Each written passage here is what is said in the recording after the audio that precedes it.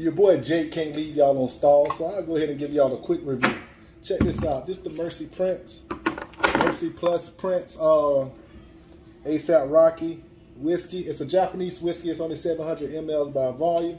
Now, I dropped a YouTube review, but I'm gonna go ahead and let y'all get a get a get a little quick review.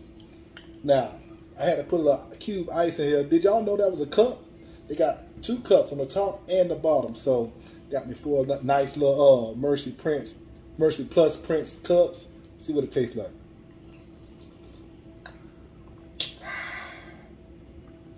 Hey, that's some good. That's some good whiskey right there. It, it do taste more like the Japanese style whiskey, but hey, it's decent. Yes, sir.